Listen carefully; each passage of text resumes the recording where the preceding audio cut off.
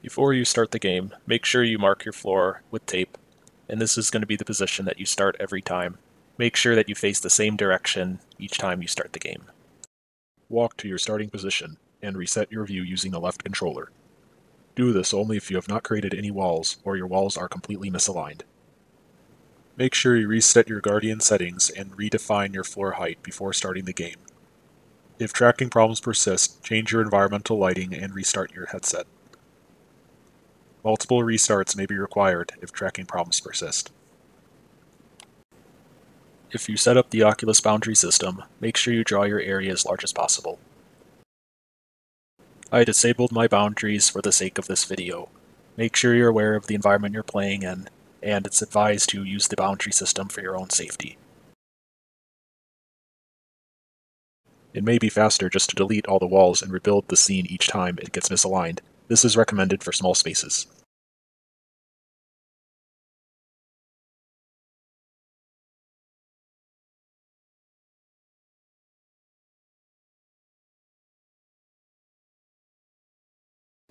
Touch the floor and press X to enable a spawn plane. Then use the left bumper to start spawning the walls. You can adjust the size of the wall using the left touch controller. Press X to end the spawn plane. Your play space must be fully enclosed to make sure that the enemies spawn properly. Use the joystick to adjust the height and width of the walls you're spawning. You can use the right bumper to adjust the objects that have been already placed. You can grab the red hand to adjust your scene if it's slightly misaligned. To delete a wall, touch the lower Enable button on the spawn menu. You will have the ability to delete walls using your right hand. Make sure you press the Disable button to be able to spawn walls again. Once you are finished placing all your walls, you must restart the app to save your setup. Do not take off your headset or reset your view.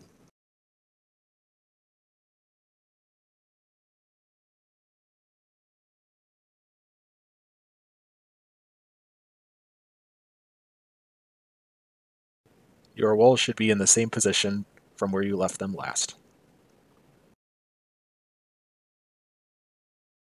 Select the basic setup if you did not manually place the floors or place custom objects. If you select the wrong option, the game will not work. The scene will slightly shift forward. Make sure you use the joystick on your left controller to realign the walls and to play. Touch the buttons to spawn weapons and ammo, Make sure you give 1 to 2 feet of space when grabbing the objects off the table.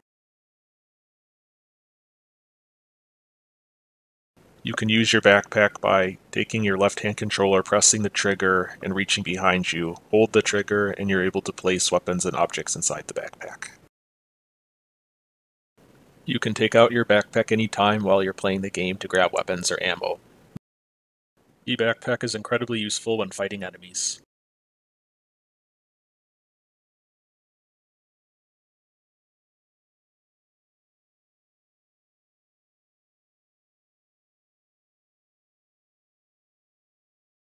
After each round, your wall should stay intact.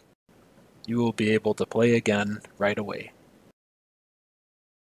If there are any issues that occur while you're playing the game, make sure you restart your headset and readjust your boundary and floor settings.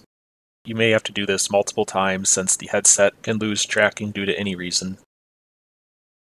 If the pass-through doesn't work and your screen is black, changing the scenes can fix this issue or restarting the headset.